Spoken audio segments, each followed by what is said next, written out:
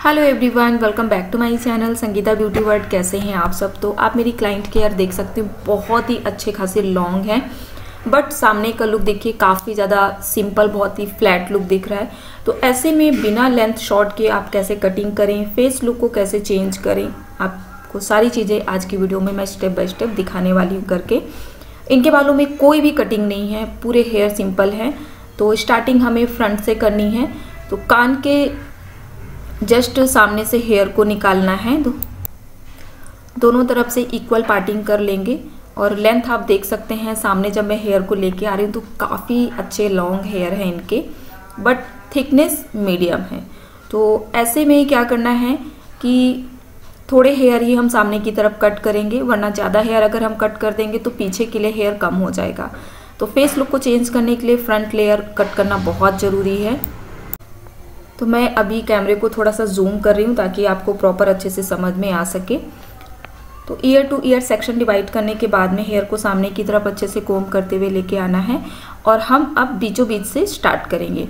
Nose area हमारे front का centre होता है तो आप देख पा रहे होंगे कि बीचों बीच से हेयर को मैं ले रही हूँ और इसको जो है मैं चिन से थोड़ा नीचे ला के कट करूँगी। ये देखिए टाइप से बराबर कट कर देना है। और जो साइड वाले हेयर हैं, उनको हम गाइडलाइन के साथ में मिक्स करते हुए बराबर कट कर देंगे। तो इससे क्या होगा कि अगर ये अपने हेयर में पफ बनाना चाहें या ओपन रखना चाहें, सभी तरीके से अच्छा लगेगा। और साथ ही साथ वॉल्यूम कम हो जाने की वजह से सामने थोड़ा सा बाउंस भी लगेगा हेयर पे। क्योंकि हेयर में बहुत ज़्यादा वेट हो जाने की वजह से और एकदम फ्लैट कोम करने की वजह से हेयर बहुत ज़्यादा आपको चिपका चिपका सा दिखता है। अब इसे क्या करेंगे? हाफ़ एंड हाफ़ डिवाइड करेंगे। उसके बाद में इसको हम थोड़ा थोड़ा सा ऐसा ट्रिम कर देंगे। ये देखिए। तो देखिए, सबसे पहले तो हमें क्लाइंट से पूछना होता है कि उनको कैसा कट करवाना है। जैसे कि अगर इनको स्टेप्स कट लेना होता तो मैं इसमें शेक कटिंग या लेयर स्टेप्स वगैरह मिक्स करके करती तो बहुत अच्छा लुक आता। बट इनको सिंपल कट चाहिए था तो सिंपल इनके बोलने के हिसाब से सिंपल ही चाहिए था बट मैंने इसमें थोड़ा सा जो है अच्छा कट करके दिया हुआ है, ताकि ये अगर क्लच करें पोनी बनाए, या सामने की तरफ़ भी रखें तो ये बहुत सुंदर दिखेगा। तो अब हम क्या करेंगे? हेयर को हाफ़ एंड हाफ़ डिवाइड करेंगे और कोम करते हुए ऐसा सामने की तरफ़ लेके आना है। और इसमें हम जो है वन स्ट्रोक लेयर कट करेंगे। तो पूरे बालों को ऐसा सामने लाएँगे कोम करते हुए। तो सिंपल कट करके भी आप बहुत सुंदर लुक दे सकते हैं बट उसे थोड़ा सा डिफरेंट कट करें।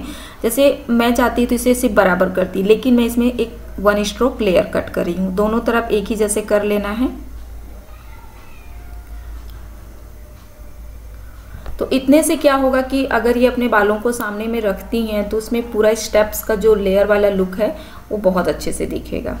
तो यहाँ पे साइड में खड़े होना है और पूरे बालों को एक ही साथ में होल्ड कर लेना है। मैं ग्रिप की हूँ तो आपको समझ में आ रहा होगा कि हेयर की थिकनेस उतनी ज़्यादा नहीं है मीडियम ही हेयर है बट लेंथ बहुत अच्छी है बालों की। अब उसके बाद में हम क्या करेंगे? हेयर को पीछे की तरफ़ लेके चलेंगे। और हम बैक साइड से हेयर को थोड़ा थोड़ा सा नीचे नीचे से ट्रिम कर देंगे। तो देखिए लेंथ इनकी पूरी की पूरी बची हुई है और पीछे से एक अच्छा सा शेप भी आ जाएगा। ये देखिए, ठीक है?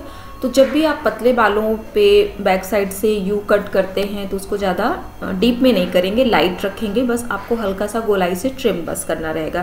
क्योंकि अगर आप उसको डीप में कट करोगे ना तो हेयर की जो थिकनेस है नीचे से वो कम लगेगी मतलब हेयर पतला दिखेगा। तो अच्छा नहीं लगेगा। इसके लिए आप उसको हल्का सा राउंड शेप में रखेंगे ना तो उसमें बल्कि आपको घना लुक देखने के लिए मिलेगा। तो बीच से बराबर और साइड से तिरछा थोड़ा थोड़ा सा कट कर देना है। ये देखिए तो इस चीज़ को आप लोग अच्छे से समझ लीजिएगा। हेयर की क्वालिटी के हिसाब से ही हमेशा आप लोग कटिंग करके देंगे। ऐसा नहीं है कि एक कटिंग है तो सब पे एक ही जैसा आप करोगे, नहीं। अगर हेयर की थिकनेस अच्छी है तो आप उसमें कितना भी गहराई से कट करें, कितना भी डीप यू कट करें वी कट करें डीप में लेयर कट करें, बहुत अच्छा लगेगा। लेकिन वहीं पे अगर हेयर की क्वालिटी पतली है और आप एकदम डीप में कट करोगे तो हेयर अच्छा लगने के बजाय और भी ज़्यादा बेकार दिखेगा।